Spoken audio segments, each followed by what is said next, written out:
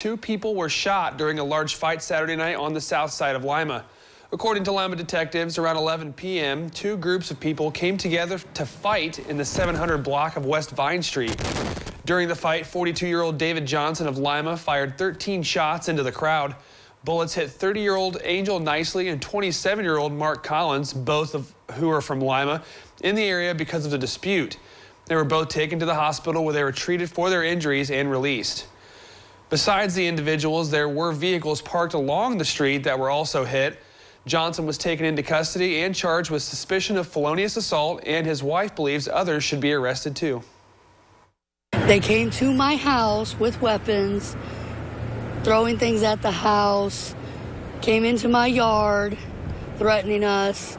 So my husband should pop shots at him, and I'm uh, assuming from what I read, two people were shot. Um, he did it to protect us because they showed up at our house and they don't even live on this part of town. Johnson was booked in the Allen County Jail. The incident is currently still under investigation.